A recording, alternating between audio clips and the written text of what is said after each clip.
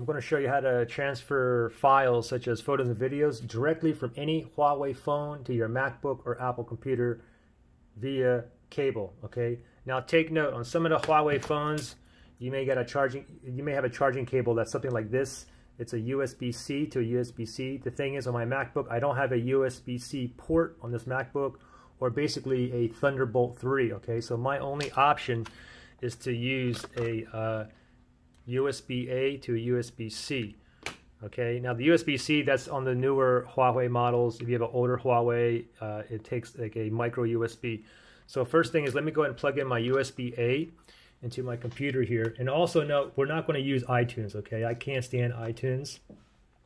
So I plug that in, okay? Now, if this was a Windows computer and I plugged it in, it would recognize it right away. However, it's an Apple computer, okay? So what you need to do is go ahead and download and install Android File Transfer.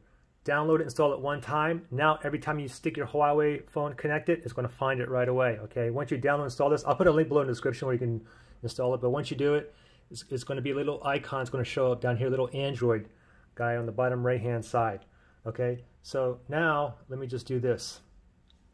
Let me go ahead and lock my phone. And I'll go ahead. I think this is a uh, P30 Pro, Huawei P30 Pro. Okay, so now let me go ahead and log in here. Okay, now I'm, I'm logged in here. Now the next thing that you're going to have to do is you're going to have to scroll down to notifications. And now you have to look right here where it says uh, charging via USB. Tap on that. And now you can see they selected charge only for me, okay? You need to put in uh, well, you can do transfer photos or you can do transfer files. If you do transfer photos, it's, it's only going to show your, um, uh, your, your photos and videos. But if you do transfer files, it's going to show you all of your files, okay? So let's just do transfer files. Let's do the whole shebang. And now what you have to do, okay, so it automatically open it up, okay? Let me click on OK. Okay, well, if the window closes when you click on OK, it's no problem. Just go down here to the little Android guy down here and the phone's connected. So let me just click on it once and boom, there we are. Okay, so we're in. Now if I look, if you go to the DCIM folder, that's where all your photos and videos that you taken is. That's the folder, DCIM. So double click on that and then double click on camera. And now you can see I have tons of photos and videos in here. I know there are uh, photos when it says a JPEG, has a JPEG extension, and there are videos I know when it has like the MP4 extension here. So right here, so from here, I mean, you can go ahead and just, you can drag and drag drop it to your desktop. I'll drag and drop a video file right there.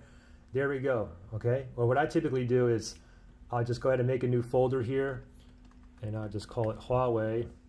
And then I'll go ahead and choose and select which ones I want to save onto this uh, MacBook here. So I'll choose like this video file, this one here, I'll do this photo, this photo, and there's four files here. I'll drag and drop this into my Huawei folder that I just created.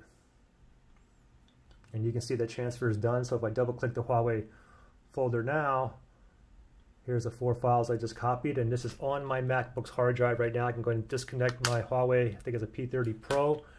And now there you go. Now, now this is on my uh, hard drive of my MacBook. Pretty simple. Questions, issues, comment below, right?